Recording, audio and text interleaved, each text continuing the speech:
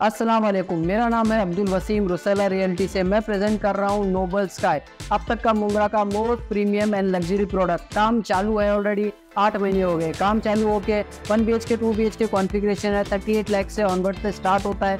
Bank ब्याज, सूद interest वगैरह की लोन की ज़रूरत बिल्कुल भी नहीं है। नेक फेसिंग अपार्टमेंट है। ट्वेंटी फाइव स्टोरी है। मोर इन्फॉर्मेशन के लिए नीचे दिए गए नंबर पे कॉन्टेक्ट कीजिए। थैंक यू देखिए, कैसे किस्मत कॉलोनी के खदीजा हॉल परिसर में नशेड़ी और शराबी मचाते हैं आतंक।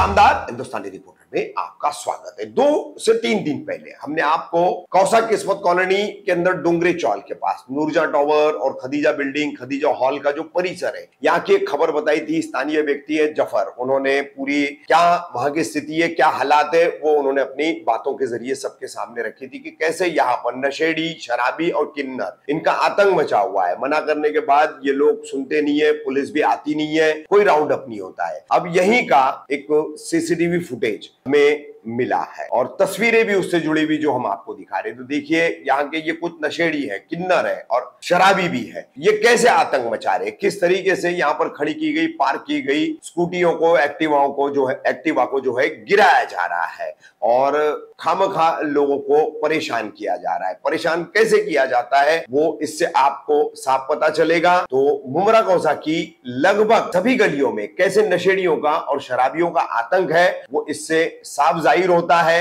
हम खबरें बताते हैं, लेकिन शायद इस ओर देखने के लिए मुबरा पुलिस के पास वक्त नहीं है।